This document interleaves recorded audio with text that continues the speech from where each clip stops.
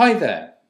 There is actually another algorithm called Kruskal's algorithm which can also find the minimal spanning tree or minimum spanning tree of a graphal network with n nodes. Just remind ourselves what a spanning tree was again. A spanning tree is a connected graph that connects all the nodes without any cycles. The minimum one is the one of smallest weight.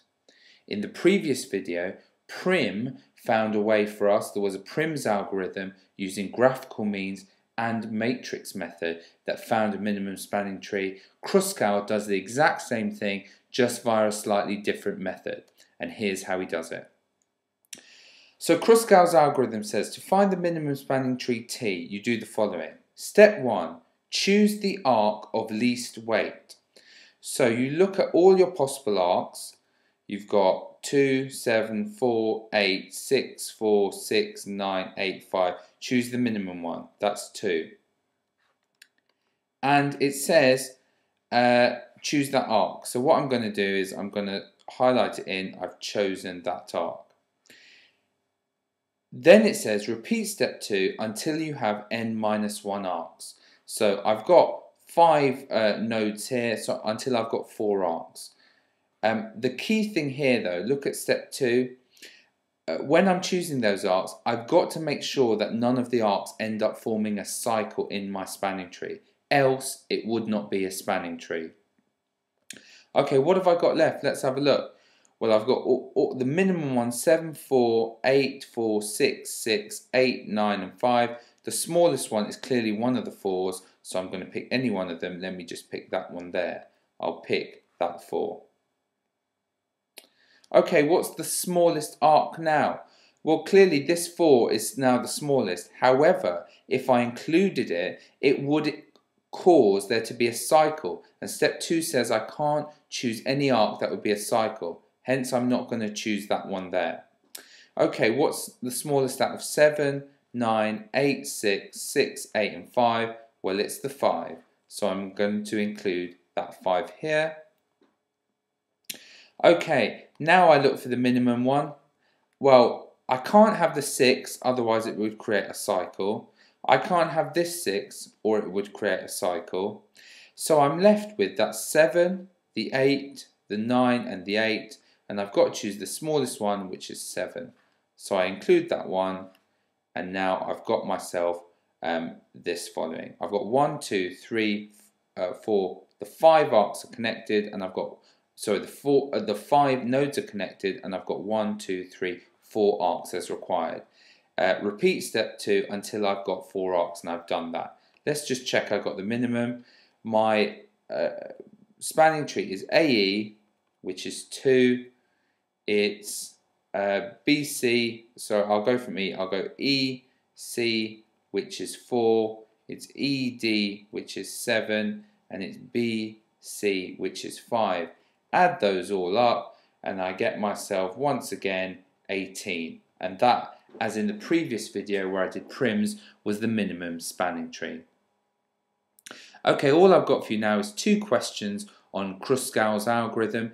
Please apply these and see if you get the correct answer.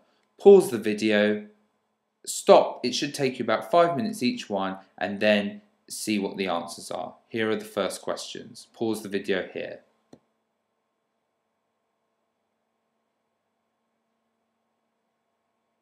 And I'll show you the answers now. Here are the answers to this problem, and they are as follows.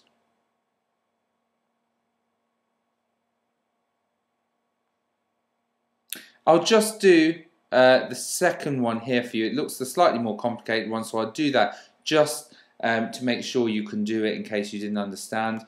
Remember what Kruskal said. He said, look around all the arcs, choose the smallest one. So the smallest one is this one here, and I'm going to include that. He then says, look all the way around and find the smallest one. Looking around, the smallest one is then this 2 here. So I'm going to include that and circle it. Keeping on looking around, I've got another small one here. I've got that 3. And I'll circle it. Now what have I got left? I've got a 6, an 8, a 17. Looking around, I've got a 5 here. Again, that looks minimal of all the ones left, so I'm going to include that 5 and circle it. Okay, now what have I got? 12, 18, 19, 15, 14, 8, 9, 17, 6. 6 is the smallest now, so I'm going to include that one as well. Okay, now, now things start getting slightly tricky. Although 8 is the smallest one left, if I included it, it would create a cycle. This 15 would create a cycle. Uh, what else would create a cycle? Anything else in here that would create a cycle? Uh, nothing as such yet. So the smallest of 19, 15, 17, 9, 14, 19, 18 and 12 is the 9.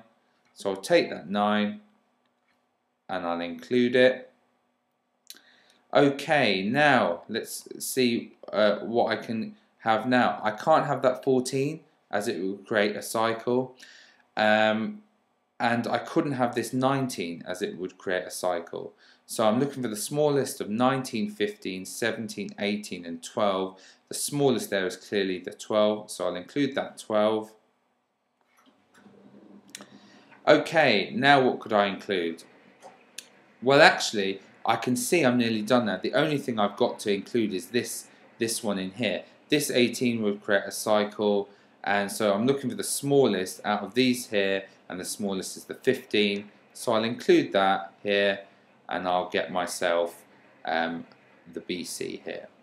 So uh, hopefully this explained to you how to get this answer here. Just looking see if I got the same as a computer. Indeed I did. The total length of that minimal one there is actually 53 and the arcs are CF, AD, GH, DG, AE, EC, HI and CB. So that is how you would have got the answer to that one. Thank you for listening.